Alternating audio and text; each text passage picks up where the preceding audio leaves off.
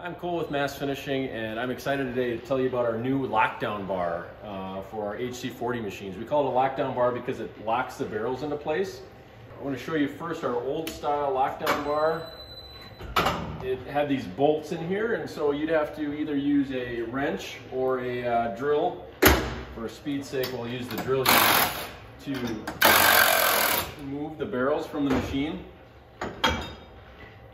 Look kind of like that um, we started to get some, have some issues where people would uh, tighten these down too much, where we'd see bowing. You can see they'd start to bow. You have to go back and forth, make sure that they're in by hand. So just kind of a cumbersome process to uh, get the barrels in and out of the machine. So what we've done is created a what we call a toolless lockdown bar it doesn't require any tools to open.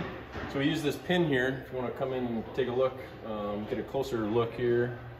Um, we use this pin, which is so you push down, pull the pin out, and now the now the bar is out. So compared to the old style, as you saw, much less cumbersome, and then going back in is just as easy. Just levers into the place.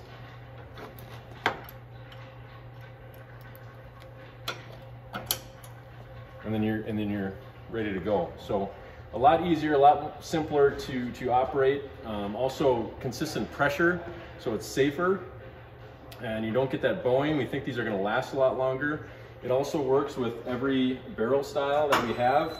So be it the full size latched end barrel, you saw the half barrels, our two-sided barrel, and these um, screws are just adjustable. So really um, It'll work really for any machine that's out in the field already.